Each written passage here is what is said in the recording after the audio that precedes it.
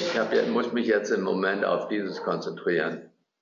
Also wir zeichnen auf, meine Damen und Herren, New England Journal für diese Woche, das sah, sah so aus, es geht um 32-jährige Frau, die kommt rein mit äh, blutigem Durchfall äh, und irgendwelche Beschwerden. Man guckt rein und entnimmt eine Probe und sieht diese Dinger. Und wir sind hier mit einer Differentialdiagnose konfrontiert. konfrontiert. Und dies sind Wurmeier. Muss ein bisschen geübt sein, um die Diagnose von Enterobiasis hier festzustellen, nämlich das ist, was dies ist. Und ihre fünfjährige Tochter hat dies auch. Und dies ist die häufigste Parasiteninfestation, Infestation, die es auf dem Planeten gibt. Und die Hälfte aller Menschen auf Erden haben dies schon irgendwann mal gehabt. Und meistens geht es von alleine weg. Und man kriegt dies äh, über eine Hand-Mund-Bewegung. Kann man sich vorstellen, wo das herkommt. Und diese kleinen Würmer sind ungefähr ein Zentimeter lang und man kann sie im Stuhlgang auch erkennen und die Eier sehen unter dem Mikroskop so aus. Und das Ganze ist wahrscheinlich kaum die Rede wert und meistens geht das von alleine weg. Der Peitschenwurm ist aber ein bisschen böser.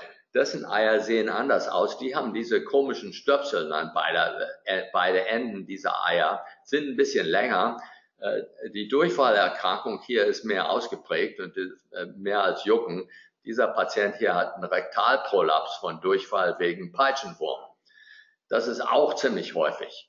Und dann gibt's Strongyloides stercoralis. Das ist eigentlich eine Form von ein Hakenwurm. Dies ist der Zwergfadenwurm. Und da kommen Filariae, die durch die Haut bohren, die enden dann in der pulmonalen, im kleinen Kreislauf, werden dann hochgehustet und nisten sich im Magen-Darm-Trakt, wo sie jahrelang leben können. Hier ist das, äh, diese Eier sehen so aus. Aber hier geht es eigentlich, äh, weil diese Eier entschlüpfen können, während sie noch im Darm sind, ist man das Risiko einer Autoinfestation ausgesetzt. Und wenn man immunosupprimiert ist, dann ist dies ein großes Problem. Und das passiert bei HIV-Patienten. Und ich habe es auch schon in transplantierten Patienten gesehen. Und Strongyloidiasis ist, ist ein, eigentlich ein ziemlich ernsthaftes medizinisches Problem. Das war aber nicht der Fall hier. Und das erste Thema im New England Journal geht es um akuter Hirnschaden. Und äh, der kann traumatisch sein, aber auch durch Ischämie ausgelöst und führt natürlich zu Koma und unterschiedliche Beispiele und klinische Darstellung habe ich Ihnen gegeben. Aber es geht eigentlich darum, dass man die Patienten anguckt, äh, sind sie wach? Und wenn sie wach sind, sind sie aufmerksam? Und sind sie stuporös oder kann ich gar nicht mit denen mich äh, irgendwie kommunizieren? Und wie das zustande kommt und die Häufigkeit davon ist hier gezeigt. Jetzt diese Patienten werden ausgewertet mit der Glasgow Coma Skala. Hier geht es um äh, beste Augenantwort, beste verbale Antwort und beste motorische Reaktion. Und wenn man vollkommen wach ist, dann kriegt man fünf Punkte für alle drei Sachen und dann hat man eine Glasgow Coma Skala Auswertung von 15 Punkte, dann ist alles in Ordnung. Aber wenn die Patienten überhaupt nicht reagieren auf irgendwas, dann kriegen sie nur drei Punkte. Und wenn sie ein bisschen reagieren, man kann diese Skala auch nicht medizinischen Personal beibringen in einer Notaufnahme. Und es ist sehr wichtig, dass das gemacht wird, weil das von großer prognostischer Bedeutung ist und weil äh, auch die Verläufe der Patienten zu beobachten, ist auch äh, äh, enorm wichtig und darum wird das gemacht. Dann gibt es auch eine Glasgow Outcome Scale. Äh, was passiert mit diesen Patienten, die in der Notaufnahme kommen mit einem schlechten Glasgow-Koma-Skala-Wert? Äh, gehen sie nach Hause und können sie sich selber versorgen oder nicht? Oder haben sie einen permanenten vegetativen Zustand, wie der arme Formel 1 Fahrer Herr Schumacher, oder sind sie tot? Das kann man auch mit einer Skala auswerten. Dann ist das Problem auf Intensivstationen, wenn ich nicht mit den Leuten kommunizieren kann, können sie mich überhaupt verstehen? Äh, sind sie eingeschlossen, locked in? Äh, oder können sie überhaupt nichts wahrnehmen. Und wir, äh, meistens gibt man den Leuten Befehle wie drücken Sie bitte meine Finger mit Ihrer linken oder rechten Hand und dann zweites Befehl, hören Sie bitte auf zu drücken. Und wenn Sie überhaupt nicht reagieren, könnte ja sein, dass der Patient das tatsächlich irgendwie kognitiv eingenommen hat, aber nicht auf das Befehl reagieren kann. Und das könnte man theoretisch feststellen mit einem Elektroenzephalogramm. Und dann gibt es jetzt Computerprogramme, wobei die Maschine lernt, äh, Algorithmen äh, sind geschrieben worden, so dass die Maschine besser wird mit mehr Erfahrung, ob die Patienten darauf geantwortet haben oder nicht. Das wird Maschinenlernen genannt oder sogenannte artifizielle Intelligenz. Diese Floskeln gefallen mir nicht, aber Maschinenlernen, das ist tatsächlich möglich, wenn Algorithmen geschrieben werden, so dass die Maschinen durch Erfahrung besser werden. Und das besser, beste Beispiel ist der Rechner, der Schach spielt. Nämlich die äh, Maschinen lernen immer besser zu werden mit Erfahrung, weil sie so viele Möglichkeiten ausrechnen können. Das ist auch hier gemacht worden. Und was hier gemacht worden sind, ist, hier sind Patienten mit akutem Dachschaden, wenn Sie so wollen, die einen Glasgow-Koma-Skala-Wert haben von sechs. Und dann ist die Frage, äh, gibt es hier eine kognitive Motordissoziation? Das heißt, die können tatsächlich was wahrnehmen oder läuft hier gar nichts. Und von diesen 88 Patienten, die für diese Untersuchung in Frage kamen, haben sie 16 tatsächlich gefunden, wo der Rechner behauptet, ja, die konnten etwas aufnehmen. Sie konnten nur nicht motorisch auf dieses Befehl dann entsprechend reagieren. Und die meisten Patienten hier hatten Englisch als Muttersprache, obwohl Spanisch hier auch in Frage kam. Und wenn wir dann Endergebnis durch diese Glasgow Endergebnisskala hier angucken, sehen wir, dass die Patienten, die tatsächlich hier etwas wahrnehmen konnten, die sind besser gefahren. Und die, die konnten dann, waren eher am Leben oder konnten sich vielleicht eher etwas selbst versorgen, obwohl die Ergebnisse hier immer noch äh, äh ziemlich schauerlich waren. Aber äh, mit dieser Messung konnte man Patienten tatsächlich identifizieren, äh, wo die Prognose ein bisschen besser war im Vergleich zu Patienten, die gar nicht reagieren. Dann hat man dem Rechner auch beigebracht, äh, wie sieht es denn aus bei den Normalen? Und das kann der Rechner dann auch anwenden, um die Kranken zu beurteilen. Und hier ganz unten sehen wir die Patienten, die gar nicht reagiert haben. Aber die Patienten in hellblau, sind tatsächlich die Patienten, die etwas reagiert haben. Und das hat der Computer gelernt, weil er sie vergleichen konnte mit der Antwort bei normalen Menschen. Fand ich ziemlich interessant. Also Gehirnaktivierung, um äh, rauszufinden, ist da hier eine Diskrepanz zwischen Kognition und motorischer Antwort oder ist es aussichtslos? Und das hat diese Studie gezeigt. Und das erinnert an Alan Turing. Der war der erste Informatiker, äh, Computerinformatiker, äh, der auch äh, das äh, äh, deutsche Verschlüsselungssystem namens Enigma geknackt hat mit, die, mit der Hilfe von polnischen Mathematikern. Der hat die Hypothese im Raum gestellt in 1950, es wird irgendwann so sein, dass der Mensch einen Rechner von einem anderen Menschen, wenn er die nicht sehen kann, nicht unterscheiden kann. Und das ist ja in, in der Tat genau so geworden.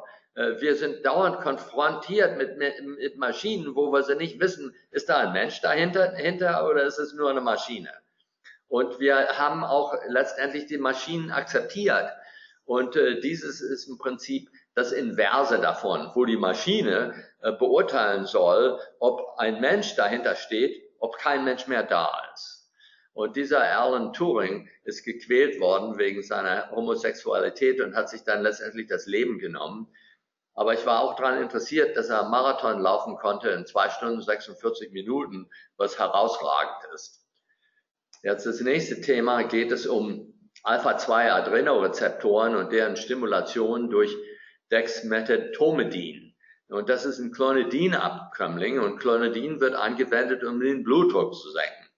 Aber Dexmedetomidin wird angewendet als Analgosedierung bei Patienten, die Entzugsphänomene haben oder die agitiert sind auf Intensivstationen, wo dies häufig ein Problem ist, insbesondere bei Menschen, die mechanisch beatmet werden müssen. Und dann kann man die, den Zustand der Patienten durch die Richmond Agitation Sedation Scale hier beurteilen. Sind die Leute maximal aggressiv? Sind sie agitiert? Sind sie unruhig? Sind sie wach und ruhig? Das wäre wünschenswert. Oder sind sie ein bisschen schläfrig? Das ist auch okay. Oder sind sie überhaupt nicht weckbar?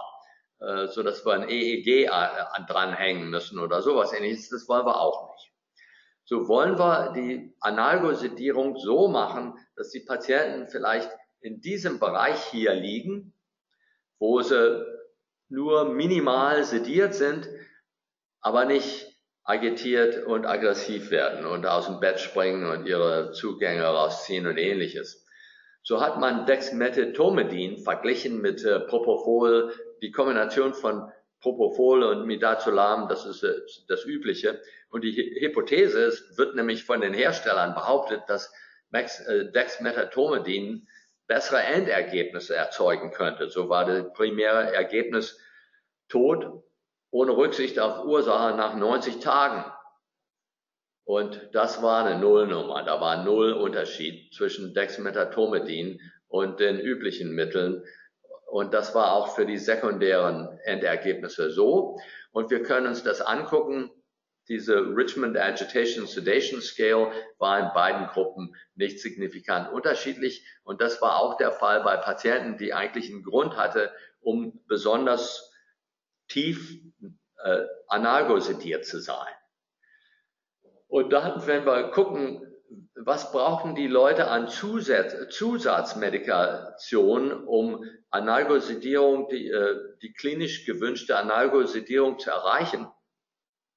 Und hier hat man Propofol und Midazolam hier getrennt, obwohl die zusammen, äh, üblicherweise zusammengeben werden gegeben werden. Aber was wir hier merken, ist, die Dexmedetomidin-Patienten brauchten, brauchten häufig zusätzliche Analgosedierung, äh, auch mit äh, Fentanyl. Äh, so ist dies nicht jetzt ein Wunderheilmittel, was das anbelangt. Und unterschiedliche äh, Untergruppen waren hier äh, ähnlich. Aber Dexmedetomidin kann man sich auch vorstellen, dass Bradykardie und Hypotension da häufiger vorkommen würde. Und das war in der Tat der Fall. So scheint es nicht zu sein, dass Dexmedetomidin das letzte Wort ist in der Analgosedierung bei Patienten auf Intensivstationen. Nächste Thema im New England Journal ist die progressive systemische Sklerose, sonst genannt Sklerodermie. Und Sklerodermie ist eine systemische Erkrankung, natürlich, aber Lungenfibrose ist ein häufiges Problem und eine häufige Todesursache. Und Lungenfibrose, für die haben wir vielleicht eine Behandlung, nämlich wir wissen, dass bei der idiopathischen Lungenfibrose gibt es jetzt ein Tyrosinkinase-Inhibitor, Rezeptor-Tyrosinkinase-Inhibitor, der den Ablauf dieser Lungenfibrose verbessert. Und dieses Präparat heißt Nintedanib. Und Nintedanib blockiert Plättchen-derivierter Wachstumsfaktor und VEGF und FGF-Rezeptor blockiert alle dieser Sachen und führt zu einem verbesserten Ablauf bei idiopathischer Lungenfibrose. So hat man dasselbe durchgeführt bei Patienten mit systemischer äh, Sklerose oder Sklerodermie. Und der primäre Endpunkt hier ist Abfall in forcierter Vitalkapazität. Und dann hat man auch geguckt, ob die Patienten sonst noch profitiert haben, äh, klinisch profitiert haben von dieser Behandlung. Und in der Tat war es so, dass der Abfall in Vitalkapazität gebremst war in den Patienten, die Nintedanib gekriegt haben im Vergleich zu den Placebo-Patienten. War nicht berauschend, aber immerhin äh, hat es einen Einfluss auf dieses primäre Ergebnis gehabt. Aber alle anderen Auswertungen, was sekundäre Endpunkte anbelangt, waren nicht signifikant unterschiedlich. Und dann Nebenwirkungen, ja, äh, Durchfall, weiß nicht genau warum, aber das ist eine Nebenwirkung und abnormale Leberenzyme und solche Sachen kamen auch vor. Aber insgesamt zeigt diese Studie, dass auch bei Patienten mit Sklerodermie und pulmonaler Fibrose das Hemmung von diesen Rezeptor-Tyrosinkinasen, die ich erwähnt habe, den Ablauf hier äh, verbessern könnte, obwohl man sonst keine klinischen Vor Vorteile innerhalb einer, eines Jahres feststellen konnte. Nächste Thema gibt es um einen Biomarker, der tatsächlich funktioniert. Und das sind äh, kardiale Troponine. Und es gibt drei von denen. Eins bindet an Tropomyosin, Eins hat eine inhibitorische Funktion und eins ist calciumbindend, aber das spielt bei, außer in der Entwicklung keine Rolle. Und äh, wie Troponine funktionieren, äh, ist hier abgebildet. Äh, das sind diese grünen Dinger hier. Und äh, gibt es kardiale Muskelschädigung, dann werden diese Sachen freigesetzt. Und Herr Katus aus Heidelberg hat an diesem Thema gearbeitet auch schon in den 80er Jahren. Und Troponinbestimmungen sind in den 90ern schon eingeführt worden und haben einen erheblichen Unterschied gemacht in der Behandlung von Patienten mit äh, akuten Koronarsyndrom und Myokardinfarkt. Und mittlerweile gibt es hochsensitive Tests für Troponin I und Troponin T und beide sind meines Wissens gleich zu bewerten. Eins wird gemessen von der Firma Hoffmann-La Roche und der andere wird von Abbott gemessen sind beide gleich gut. Und äh, das calciumbindende Troponin ist nach der Geburt sowieso vorbei. So geht es hier um Troponin I und Troponin T. Dann geht, geht, das nächste Thema ist Chest Pain Units. So heißt das auch auf Deutsch. Das sind im Prinzip Brustschmerzambulanzen, wo nette Assistenten dann äh, die Patienten mit Brustschmerzen sehen wollen. Äh, die brauchen sogar von Kardiologie wenig Ahnung haben, weil diese Tests äußerst sensitiv sind. Aber Aussichten für Patienten haben sich schon verbessert. Als ich Assistent war, akuter Myokardinfarkt hatte eine Mortalität von 30 Prozent. Dann haben wir Corona äh, Intensivstationen entwickelt, dann, wo die Patienten auch defibrilliert wurden und beobachtet wurden. Das hat die Sache verbessert. Dann haben wir Reperfusionen durchgeführt und ASS und Beta-Blocker gegeben. Das hat auch verbessert. Und jetzt haben wir hier diese Brustschmerzambulanzen. Und in der, wenn Sie jetzt in eine Brustschmerzambulanz auftauchen, das erste, was gemacht wird, ist, Sie kriegen ein EKG. Und wenn Sie ST-Streckenhebungen haben, sofort ins Katheterlabor. Und wenn Sie das nicht haben, dann werden Troponin I oder Troponin T gemessen. Und wenn es sehr niedrig ist, dann kriegen sie wahrscheinlich einen Freispruch. Aber man muss bedenken, akuter Lungenembolus oder akute Myokarditis oder akutes Trauma könnte auch Troponin erhöhen. Und wenn Troponin erhöht ist, dann guckt man, naja, wie ist denn der Verlauf? Dann müssten wir uns ein zweites Mal nach anderthalb Stunden oder vielleicht drei Stunden und dann guckt man, ob es rauf oder runter geht. Auch Abfall ist von Bedeutung, nämlich das bedeutet eine Dynamik in den Troponinwerten. Wie bin ich so klug geworden? Äh, äh, so dass man einen Algorithmus äh, entwickeln kann. Ausschluss muss ich weiter beobachten, Katheterlabor und hier ist sogar eine www-Adresse oder Sie können das auf Ihren Telefon einbauen und dann können Sie die Patienten bewerten. So müssen die lieben Doktors in der Brustschmerzambulanz nicht unbedingt Raketenwissenschaftler sein, die haben das alles auf dem Telefon. Wie weiß ich das alles? Durch diese Studie und ähnliche Sachen. Und diese Studie ist die größte Studie, um die Sensitivität von Troponinen in der Vorhersagekraft für akutes Coronarsyndrom festzustellen. Und hier war der Plan, eine Risikoauswertung zu entwickeln, das vorhersagt, ob jemand jetzt einen Myokardinfarkt kriegt in den, innerhalb der nächsten Ta äh, Tage oder äh, vielleicht sogar stirbt. Und das ist gemacht worden anhand tausender Patienten. Nicht nur 20.000, 20.000 waren in einer Gruppe. Nämlich, wenn man ein, äh, eine Skala entwickelt, dann muss man das verifizieren. Und dann muss man das vergleichen mit normalen Menschen oder mit Menschen, die reinkommen mit Brustschmerzen, aus einem anderen Grund. Und das ist alles hier in sehr mühseliger Arbeit gemacht worden. Müssen Sie selber lesen, wenn Sie äh, alle Details da wissen, genau wie das gemacht worden. Aber ich habe es ziemlich detailliert hier dargestellt und auch die Vergleichsgruppen von Patienten mit niedrigem Risiko für Myokardinfarkt, Leute, die sehr suspekt waren, Leute, die ein hohes Risiko hatten. Und dann im Supplement kann man auch die Essays angucken, äh, Abbott versus Roche-Diagnostik und dann die akute Population und dann die Vergleichspopulation und eine allgemeine Patientengruppe, die äh, keine Brustschmerzen hatten. Und dann kann man diese Sensitivitäts-, Sensitivitätsdiagramme erstellen. Und ein perfekter rechter Winkel wäre ein perfekter Test. Na, ich muss schon sagen, diese Tests sind verdammt gut, nämlich diese Rockkurven sind sehr eindrucksvoll. Und das ist, das gilt für Troponin E genau wie für Troponin T.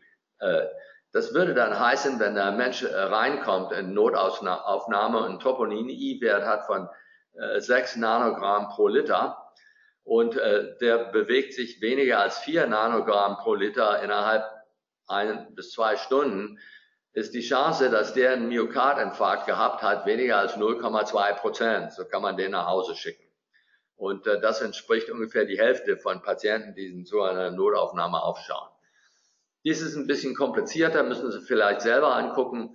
Äh, äh, sofortige äh, Probeabnahme innerhalb einer Stunde oder zwei Stunden sind hier verglichen und wir wollen feststellen, welche von, welches von unseren Patienten sind hier in den grünsten Bereich, die wir nach Hause schicken können, oder welchen sind in einem roten Bereich, äh, die vielleicht ins Katheterlabor fahren sollten.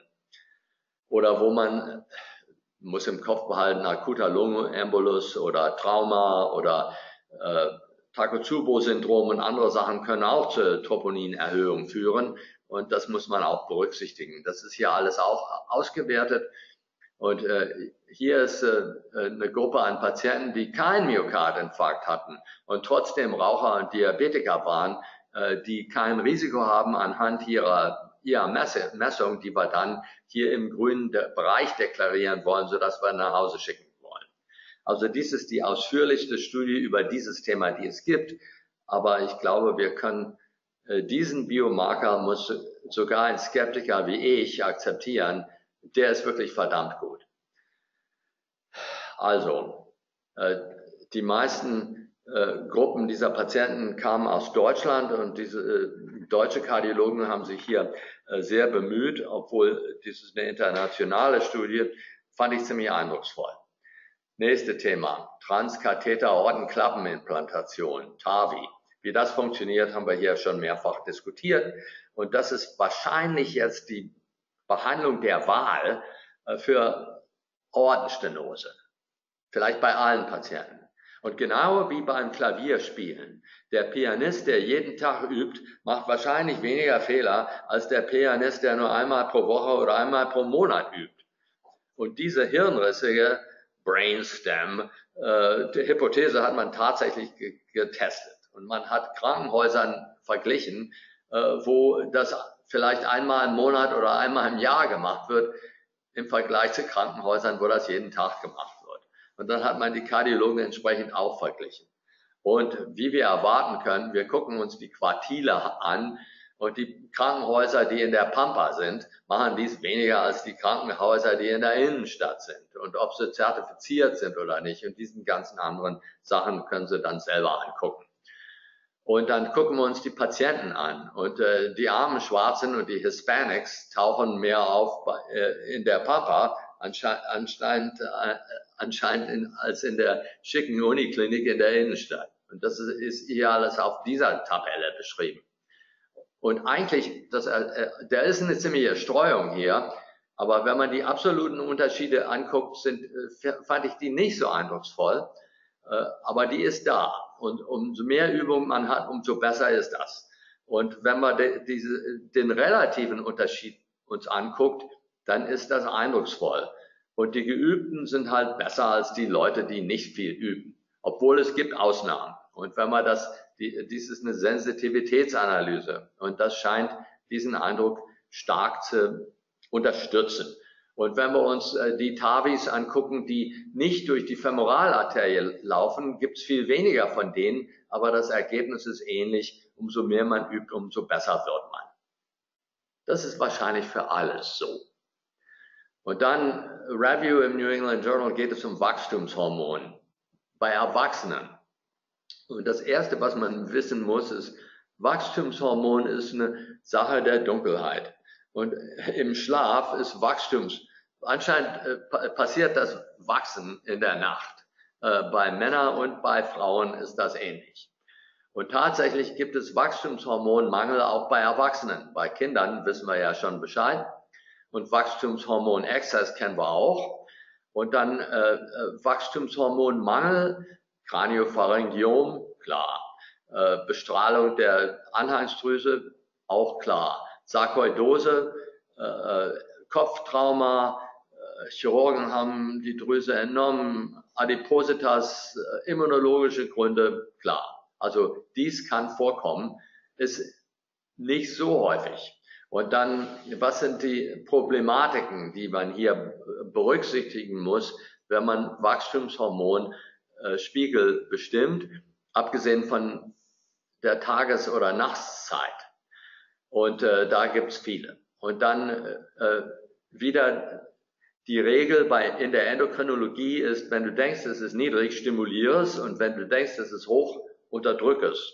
Und wie stimuliert man Wachstumshormon? Ja, man kann Insulin infundieren. Führt, da, führt das zur Hypoglykämie? Manchmal.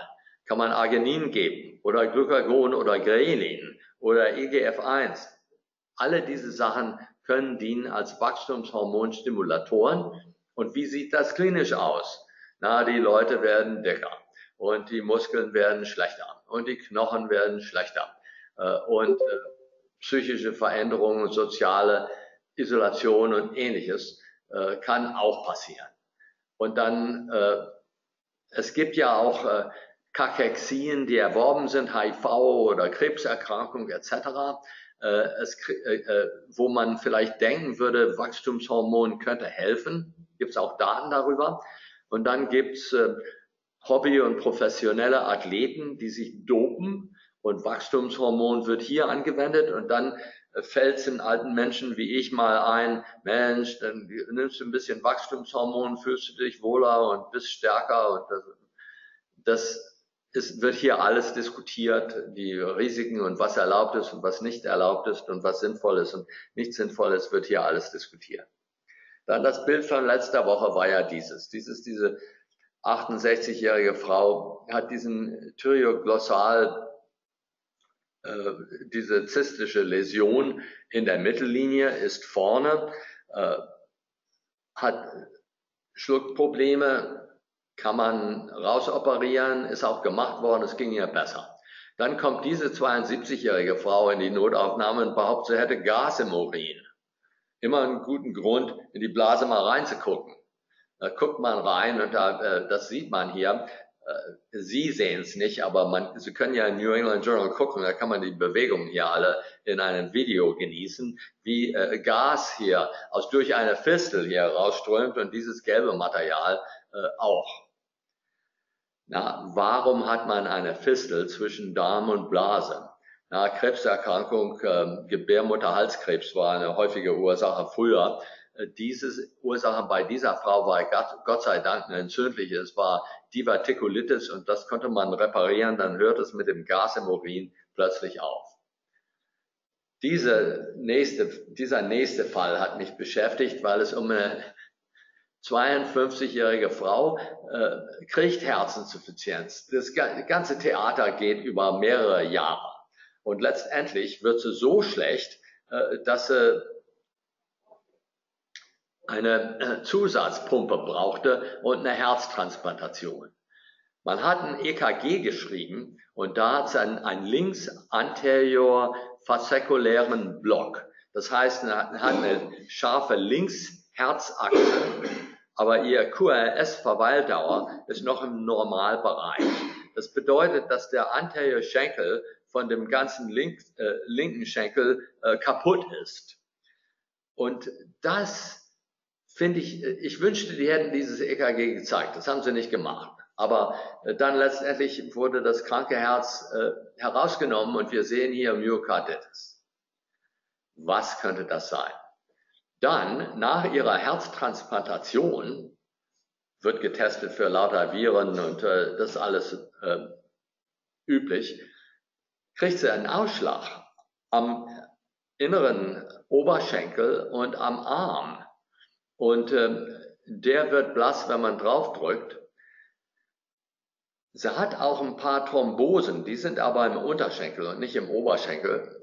Und ob die damit direkt assoziiert sind, weiß ich nicht genau. Aber diese, diesen Ausschlag hat die Ärzte stützig gemacht. Dann erfahren wir, dass sie aus Zentralamerika kommt. Und das stellt eigentlich die Diagnose. Alle Menschen aus Südamerika und Zentralamerika, die eine Herzkrankheit haben, die mit Überleitungsstörung einhergeht, meines Erachtens haben Trypanosomiasis bis anders erwiesen, weil das so häufig ist äh, äh, in Zentral- und Südamerika. Äh, das ist die häufigste Ursache von Myokarditis, die es in diesen Ländern gibt.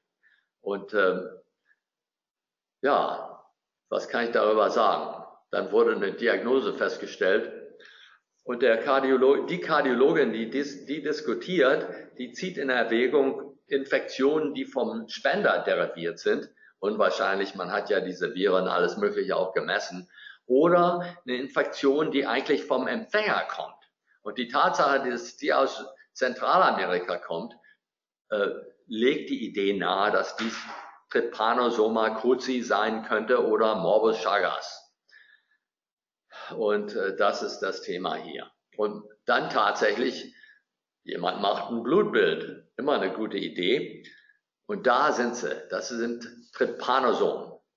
Und dann äh, wird eine Myokardbiopsie gemacht und dann da sind Entzündungszeichen. Und diese elektronenmikroskopischen Bilder hier äh, zeigen äh, Bruchteile von äh, wachsenden Trypanosomen, äh, Kinetoplasten und ähnliches, was ich nicht so gut verstehe. Aber das hätte ich auch verstanden und das kann man in einem peripheren Blutabstrich, muss ein bisschen Geduld haben, vielleicht eine ganze Stunde die Dinger angucken, kann man auch finden.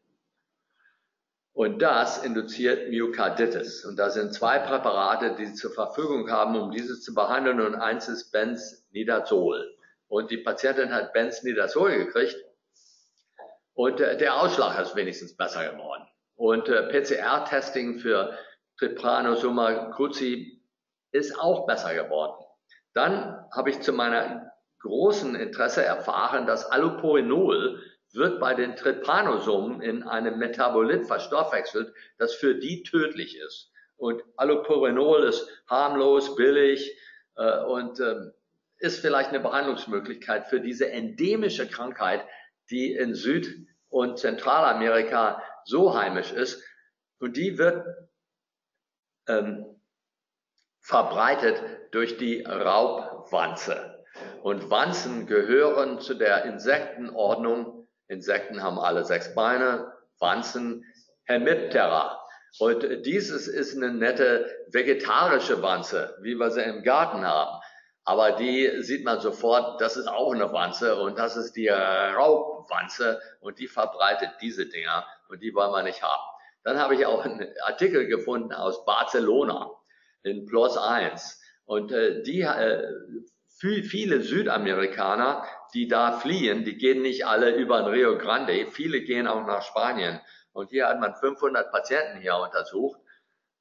Und ich war daran interessiert, dass die 20, beinahe 20 Prozent hatten so ein links-anterior Hemiblock im EKG, genau wie unsere Patientin hier im New England Journalist hat. Dann geht's noch weiter. Und hier sind sechs Patienten, die eine Gesichtstransplantation unterzogen worden sind. Und man muss sagen, Hut ab äh, zu den Patienten und auch zu den Ärzten, die denen geholfen haben. Nämlich diese Ergebnisse sind ziemlich akzeptabel, so dass man damit leben kann, anstatt sich äh, verstecken zu müssen, wie es präoperativ der Fall war und die Abläufe und äh, können Sie hier gucken, wie das dann war bei diesen Patienten. In Lancet ist das erste Thema HER2. Und äh, HER ist der humane epidermale Wachstumsfaktorrezeptor und äh, da sind es gibt vier Stück von denen und die können auch miteinander Dimere bilden und äh, die schicken Signale. Die sind auch im Herzen vorhanden, nicht nur bei, äh, in anderen Geweben. Und im Herzen heißt dieser gleiche Rezeptor Neureglin. Und wenn dieser Rezeptor geblockt ist, kann es sein, dass Brustkrebse weniger schnell wachsen, aber es kann auch zur Kardiomyopathie führen und das ist ein Problem. Und das ist das Thema, weil wir einen Antikörper haben gegen HER2 und da HER2 positive Patientinnen mit Brustkrebs entspricht 30 Prozent, würden sie für diesen Antikörper in Frage kommen. Dann ist die Frage, sollte der sechs Monate gegeben oder zwölf Monate gegeben werden? Und dazu gibt es zwei Studien. Und die erste ist die FAIR Study. Und hier äh, sind äh, äh, Patientinnen mit Brustkrebs und äh, HER2 äh, positiv, aber dann die aus, der Ausmaß der Positivität spielt hier auch eine Rolle und dann die anderen Behandlungen, die sie gekriegt haben und äh, ob sie Hormonrezeptor positiv oder negativ. Also die beiden Gruppen waren da ähnlich, zwölf Monate gegen sechs Monate. Ich sehe hier keinen großen Unterschied. Was hier passiert ist, weiß ich nicht genau. Das ist nach elf Jahren. Aber und eigentlich, die Patientinnen fahren so schlecht nicht. Das ist Gesamtüberleben hier. Und nach elf Jahren sind äh, 85 der Prozent der Patientinnen äh, noch da. Aber da sind doch Unterschiede, was, ähm, kann nicht genau lesen, äh, diese Risikoskalen anbelangt in sechs Monate äh, versus zwölf Monate. Und es schien so zu sein, dass das sechs Monate Risiko bei diesen Patienten etwas höher ist, obwohl in unterschiedlichen Untergruppen sehe ich da keinen großen, großen Unterschied, aber zwölf Monate Behandlung ist ein bisschen rechts des Ausgangswert oder was man erwarten würde, wenn beide Gruppen gleich sind in diesem Forest Plot hier. Und so folgern die FAIR-Studien äh, Leute, dass man sollte mit einer zwölf Monaten Behandlung bleiben. Aber dann kommen die Perse Persephone-Leute und die haben das Gleiche gemacht. Und diese Patientinnen sind etwas anders. Details können Sie in diesen Studien lesen. Aber im Prinzip war die Hypothese die gleichen, die gleiche und äh, sieht so aus, als wäre die Randomisierung okay gewesen und da waren keine Unterschiede festzustellen im Vergleich zu sechs Monate gegen zwölf Monate. In dieser überhaupt nicht. Da liegen wir genau auf der auf dieser äh, 1-Linie hier in diesem Forest Plot sollte kein Unterschied da sein zwischen diesen Behandlungsmöglichkeiten. Und diese Leute folgen im Gegenteil dazu, dass sechs Monate sollten eigentlich reichen bei diesen Patientinnen im Vergleich zu zwölf Monate. Dann gibt es Patienten, die ASS brauchen oder Plättchenhemmung brauchen aus sehr guten Gründen, aber eine Hirnblutung kriegen, die vielleicht nicht so schlimm ist. Und dann ist die Frage, äh, darf ich das ASS oder was sie sonst kriegen, wieder starten oder äh, sollen wir das lieber nicht tun? Nämlich äh, Hirnblutungen sind unschön, man will die nicht haben. Das wurde hier getestet und hier sind Leute mit Hirnblutung während ihrer Plättchenhemmung-Behandlung sind randomisiert worden zu Restart oder Verzicht. Und die Gruppen waren ähnlich, auch was ihre Hirnblutungen anbelangt. Und wir können das uns alles angucken, aber es sieht so aus, wenn wir das angucken, äh, die roten sind die Stopper und die blauen sind die Starter. Und die blauen sehen eigentlich ein bisschen besser aus. Äh, und hier geht es um Hirn, äh, wiederholte Hirnblutung so sieht es so aus, als könnte man diese Therapie gezielt doch lieber restarten, anstatt auf diese Therapie zu verzichten bei Patienten, die es wirklich brauchen. Dann Impfen für Polio. Wenn man flächendeckend Sabin-Vakzin hätte geben können, wird es Polio wahrscheinlich nicht mehr geben. Das Sabin-Vakzin, das ein lebendiges Vakzin ist, das Leute in meinem Alter alle bekommen haben mit diesen Zuckerwürfeln, war wundervoll. Mit der Ausnahme, dass vielleicht bei eins von tausend Menschen Polio oder eine Polio-ähnliche Krankheit aufgetaucht ist. So darf man das nicht mehr geben. So jetzt müssen wieder, wie bei Herrn Salk, inaktivierte Poliovirus-Impfstoffe gegeben werden. Und dann ist die Frage, da die äh, nicht so gut sind wie das Sabin-Vakzin, müssen die mehrfach gegeben werden. Dann ist die Frage im Raum, äh, kann ich äh, das, dieses inaktivierte diesen inaktivierten Impfstoff so gestalten, dass es einfacher zu geben ist. Und äh, das ist im Prinzip, was hier gemacht worden ist. Und hier ist die Antwort, eine immunologische Antwort, ob die Leute jetzt seropositiv gegen drei Polio-Stämme äh, werden oder nicht. Und da sind unterschiedliche äh, Gruppen hier mit unterschiedlichen Kombinationen von diesem Polio-Virus. Wenigstens haben die Kinder alle äh, Impfstoff gekriegt gegen Polio-Virus. Das ist schon etwas. Und äh, wie viel sie in der Schule, äh, die Mütter, Mütter in der Schule waren, interessiert sie vielleicht weniger. Aber dass ähm, Kakexie bei diesen Kindern bei sechs bis sieben Prozent vorkam und äh, Wachstumsretardierung ist traurig, aber das war der Fall. Dies ist eine Studie aus Bangladesch. Und dann diese, äh, da sind äh, drei Typen von Poliovirus. Ich glaube, Typ 3 ist ziemlich ausgerottet, aber das ist dahingestellt. Und dann gucken wir uns hier Non-Inferiority sind, ist eine, ist eines Schemata äh, nicht schlechter als das nächste. Und können wir diese Impfprozedere äh, einfacher gestalten. Und darum geht es in dieser komplizierten Ar äh, Arbeit. Wenn Sie damit zu tun haben, in der Tat sah es so, als äh, könnte man dieses Impfschemata einfacher gestalten. Dann Übersicht in Lancet geht es um Fleischmangel. Ich meine jetzt das eigene Fleisch. Nämlich mit dem, wenn wir chronisch krank werden, verlieren wir an Muskelmasse. Äh, Alter, hoffe ich, ist keine Krankheit, aber da verlieren wir auch an Muskelmasse. Und das kann man hier in diesem MRT sehen. Das sind 26-Jähriger im Vergleich zu diesen 85-Jähriger. Und da, es gibt halt Muskelschwund mit zunehmendem Alter. Und das betrifft auch für die Muskelstärke.